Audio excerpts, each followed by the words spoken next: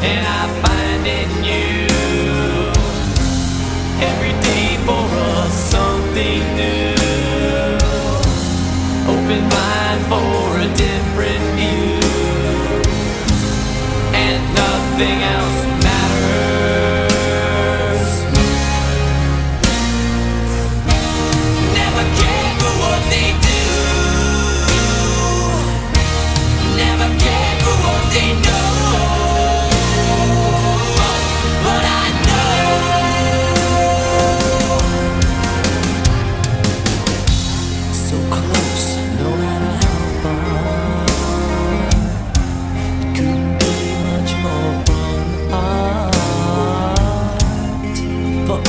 Trusting who we are, and nothing else matters.